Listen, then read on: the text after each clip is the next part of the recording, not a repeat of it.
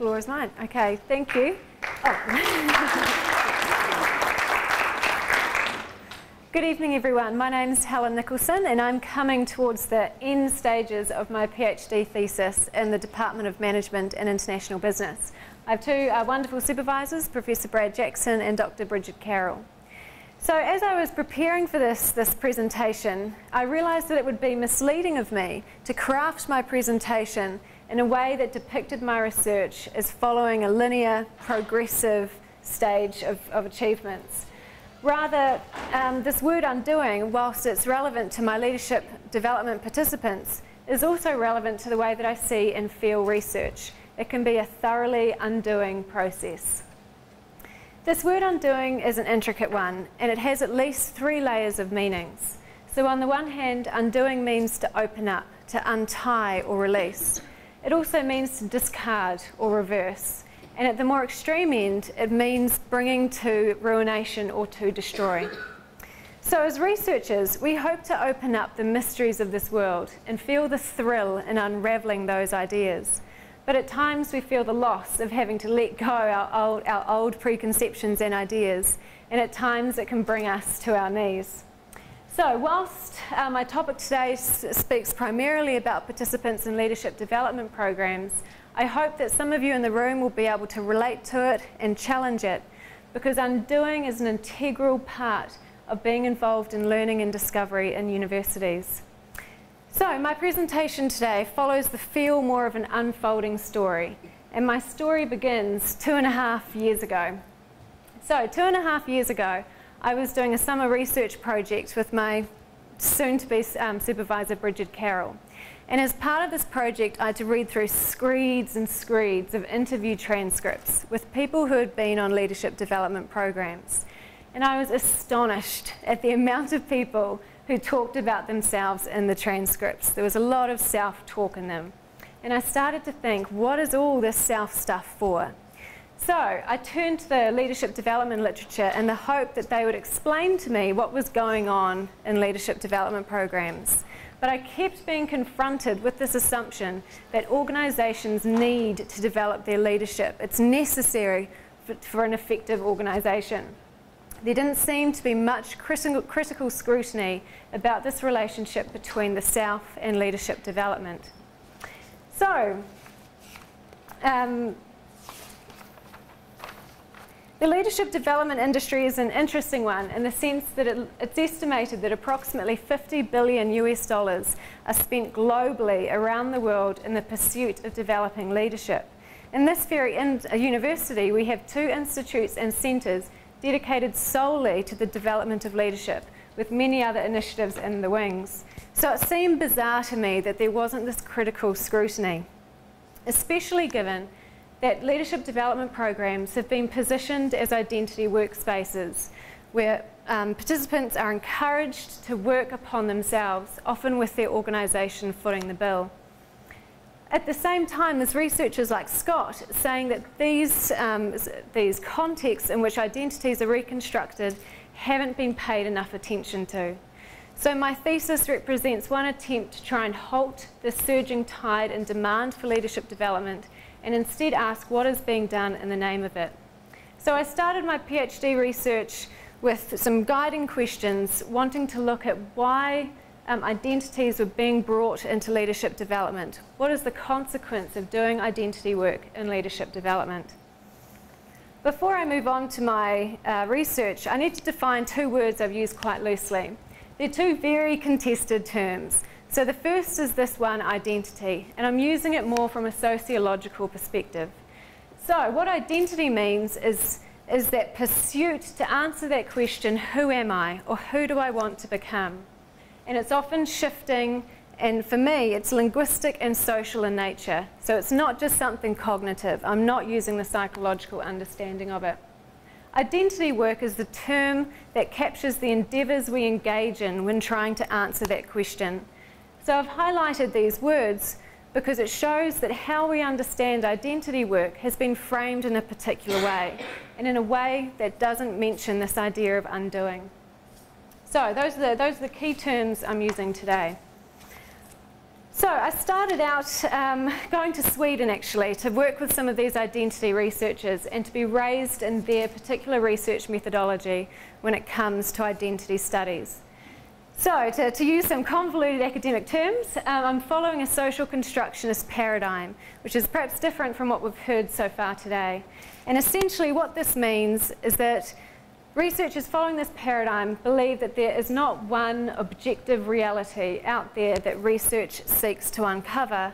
Rather, the research process is more interested in how people come to understand their world, knowing that there are multiple subjective realities, of which the researcher has their own, so we're co-constructing knowledge.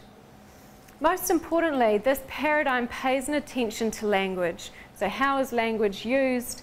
Um, in my context for identity and leadership development. So I've done what I call a hybrid ethnography. So ethnography is that term for, for days of old when researchers used to put on a safari suit and carry their notebook and go off to the colonies and try to figure out what the, um, what the savages were doing. So I'm doing it more in an organisational context. It's hybrid because on the one hand, I'm doing traditional forms. I've observed people face to face but it's virtual because I've been observing these participants in their online forum. So I've covered one leadership development program for the last 18 months. I've been observing them. Um, there's 36 participants from across New Zealand from a diverse range of industries. To give you an idea of the amount of data I've got, I've got about 300 pages of field notes, 500 pages of their reflective journals and reflective writing, and 6,000 individual postings they've made to these online forums. So it's profuse. But the, one of the things that these Swedish researchers taught me is to try and look for breakdowns in understanding. So to try and look for moments where you think, that's just bizarre. So this genesis of undoing comes from the first residential, funnily enough, where I was observing participants. And they were talking about the nature of their leadership development experience so far. And one of them said, I feel like they've blown everything to smithereens. I've been cut apart. They've dissolved my foundations. It's shaken up everything I know. I say that it's bizarre because I really hadn't expected them to talk in quite destructive and violent terms in terms of their identity. So I started to trace through my data these mentionings of identity destruction, but there was more going on. Participants felt the thrill of being opened up and learning more about themselves. Some of them relished this idea of letting go old identities which they felt had been holding them back, and others felt the loss of having to let go those. So, I scoured the leadership development and identity literature, wondering perhaps has this undoing been done?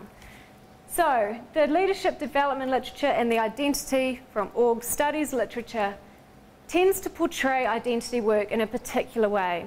And that is that in our pursuit to understand ourselves, we add new identities or add new aspects, we build, we construct. And once we get to that point, we maintain and protect who we are. The leadership development literature also assumes that people progress from stages of immaturity to maturity. Whilst this work has undoubtedly offered us some, some real advantages in this field of study, I started to wonder, isn't there more to identity work and leadership development than these movements? Particularly given that this word develop has etymological roots in the word desveloper, where des means to undo and veloper means to wrap up. So it seemed to me that leadership development was looking more at this wrapping up process and not the undoing process, which seems to be implicit in the very word itself.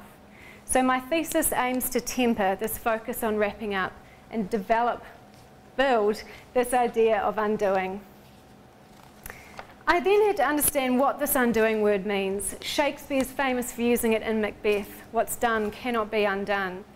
Funnily enough, the org studies literature is silent on it. We don't seem to talk about it in my discipline. So I travelled to various fields, ending up looking at hippie culture and special forces and this crazy stuff. And I realized that there's about six different ways that undoing can be understood. Coming undone involves moments where we feel unsettled, opened up, or destroyed. It also involves stripping back aspects of who we are, even reversing who we are, as Freud says, and then shedding aspects of ourselves. But it still didn't really hit on what I was trying to accomplish in my thesis until I found this one quote by an American scholar, Judith Butler. And she, she says, We're undone by each other, and if we're not, we're missing something. One does not always stay intact. It may be that one wants to or does, but it may also be that, despite one's best efforts, one is undone in the face of the other by the touch, by the scent, by the feel, by the prospect of the touch, by the memory of the feel. Butler's quote is important because she picks up on some key themes in my research. On the one hand, she sees undoing as this coming apart, of not staying intact. She references the undeniable relationality involved in becoming undone. We're undone by each other. It's not just a cognitive, internal, private process. She talks about the different ways we can respond to being undone. We try to resist it, despite one's best efforts, or we invite being undone. One wants to. Most importantly, though, Butler says that if we're not being undone, we're missing a fundamental part of, human be, of, of being a human. If we're not, we're missing something. So I propose that this quote and this work of Butler, although she's talking about loss and sexuality, cements my topic as a vital area to understand in greater depth for the leadership development literature. So finally, months after doing my research, my fieldwork, my data analysis, I had my research question, following that more inductive approach to research. I then had the, the joyful task of analysing my thousands and thousands of pieces of paper. And in doing that, I was, I was doing a technique called discourse analysis, where I'm looking at the language participants use when they talk about their identity. And I'm also looking at how, how language is used to undo them. So things like questioning or attacking or powerful language, how that can unravel you. So I've come up with six main, what we call discourses, six different ways that undoing can manifest in people. Some of these are more energizing, and the participants really relished and delighted in the opportunity to experience these. So participants talk of feeling loosened up, like they've been unfastened from a stuck position. They're able to move in more ways than, than prior to the program. They talk about how they've been shaken up, and one of them uses the metaphor of a glass um, snow dome. So it's a gentle agitating they feel has been done to them. They've been flipped upside down, but not in a violent way. And they also talk about letting go. So one of them relishes this idea of letting go her engineer identity and adopting a new leadership identity. But there's also some who really struggle with this. They feel the loss and wonder who are they going to become when they give up this engineer identity, for example.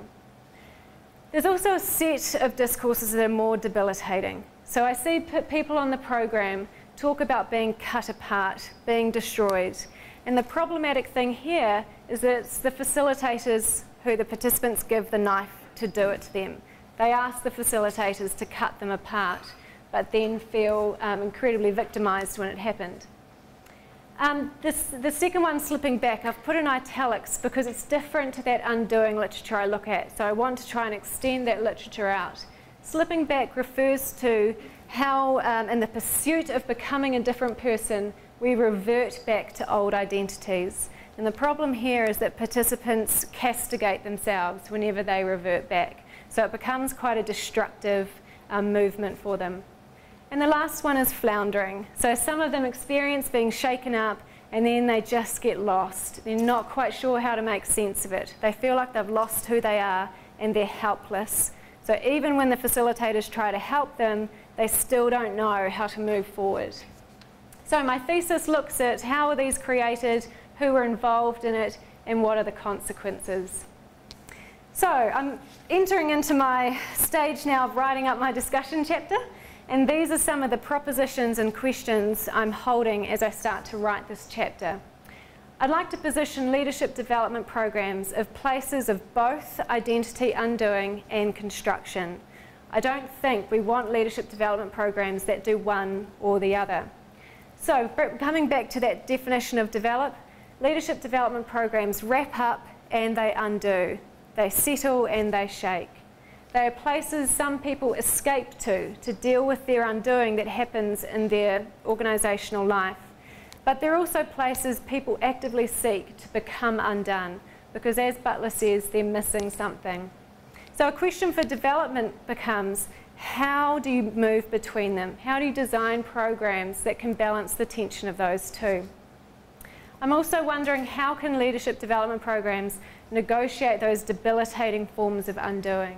How can we, how can we deal uh, with undoing so that it doesn't end in self-destruction?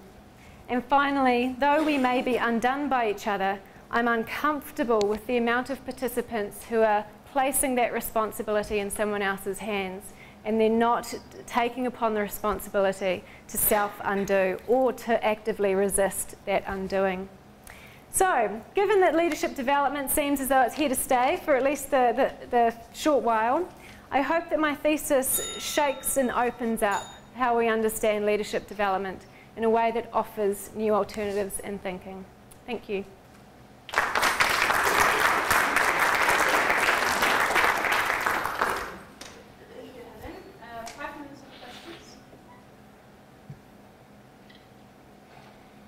Stunned into submission. Yes.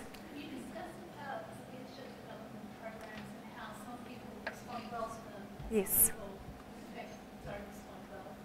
Is it more that, you know, rather than these people who are responding well and not responding well, it's that individual themselves?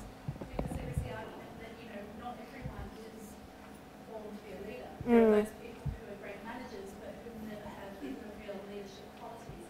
It's just that those people who don't have those qualities are the ones who actually don't do. Yeah, that's a, that's a common um, assumption that you're either born to be a leader or you're not. Um, operating from a social constructionist paradigm assumes that nothing is fixed about your identity. So you're not born and therefore um, you, ha you have to stay within that track for the rest of your life. So this leadership development program I look at, um, they have a, a large number of academics working with them and they also teach to a social constructionist paradigm. So they believe that people can certainly be developed as leaders, um, and that you can, uh, your, your identity is fluid and, and shifting. Yeah, yeah. Yes? Gender differences. Yeah. Yeah, um, well, Bill mentioned that I assume that with the whole military thing, men behave differently than women, men being um, Right. Yeah, oh, okay, right, right, right. Gender differences, yes. I've, um, I've been schooled in gender theory, so it was an active decision of mine to not look at gender. Um, why did I decide not to? I felt that there wasn't enough gender stuff coming through. Um, undoing seems to be something that happens to both females and males. Um, in terms of even the destructive forms, there were certainly just as many males saying that they felt um, the, the pain of their character being dis, um, destroyed as females were.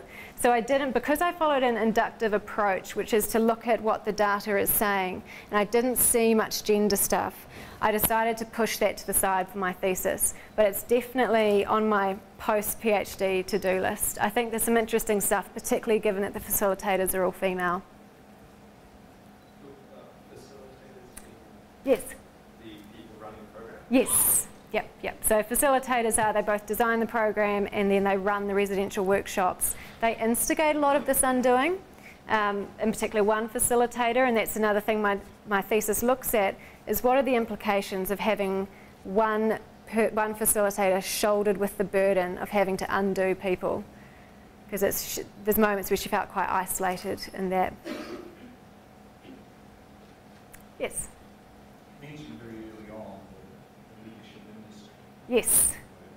And the kind of blind assumption that this is a very important mm. quality of organisations and like quality of leadership. Mm. What's your view of that assumption? Yes, it's a very good question because it's been one of my biggest challenges, to be honest. I, um, and this talks to my letting go. I started my thesis thinking we should demolish leadership development and that it was symptomatic of all the ills within our society.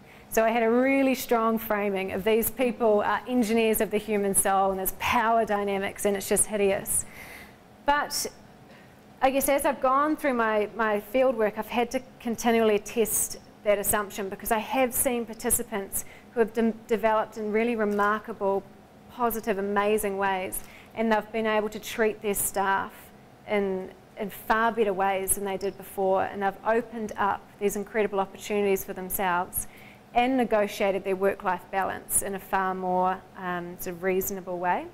So I'm at the point now where I'm having to write, you know, coming into my discussion, and I nearly I need to reframe all my literature because I've written it with that assumption that leadership development programs are really problematic, and now I need to temper that to look at um, there is a place for these in society, but that doesn't mean we shouldn't critique them or challenge them.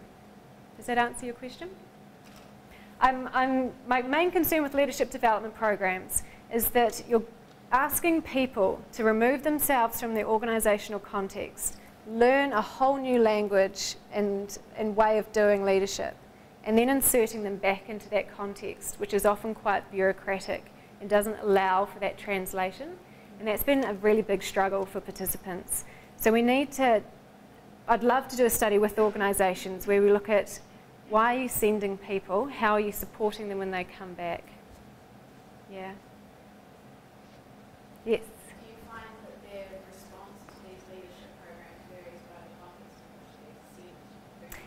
Yes. Ab- Do volunteers get out more from it than those who sort of are very well yeah, it's a really interesting question. I think some who have struggled the most are ones, they're all, they're all university educated, they're ones who have been um, taught in quite scientific disciplines. So the engineers and the doctors and the scientists really struggle with this social constructionist approach that's asking them to look at their identity and experiment with who they are.